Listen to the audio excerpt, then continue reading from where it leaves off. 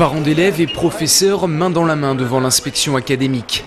La baisse des dotations horaires et le sureffectif dans les classes signeraient selon eux la disparition des pédagogies différenciées, des enseignements adaptés aux élèves en difficulté.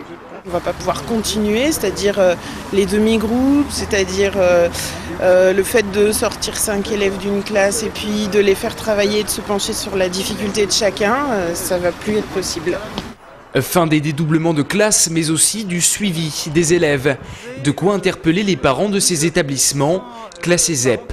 C'est une situation catastrophique et puis une augmentation, je dirais, des, effectifs sur, euh, dans, chaque classe. Quoi. On arrive à, à des taux de 30-34 euh, élèves.